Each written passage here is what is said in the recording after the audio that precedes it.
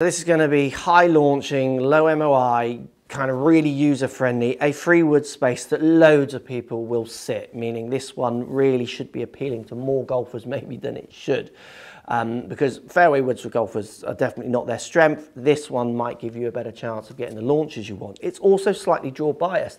Most people's fairway woods definitely tend to leak to the right. It's got their unique lining system up on the top, which allows you to line it up. Again, I personally feel that should just sit neutral, but that's quite a unique feature. Inverted cone technology, multi-material construction, really allowing them to put the weight where you want the weight to be to help you get the launches. So if you're someone who doesn't really get your free wood in the air that much from the deck, you find it leaking to the right.